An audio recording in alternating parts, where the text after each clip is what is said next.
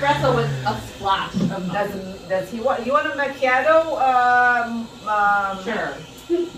Matt. A Right. I've never even heard of this. It's a shot of espresso, a layer of foam, and a sprinkle of cacao powder.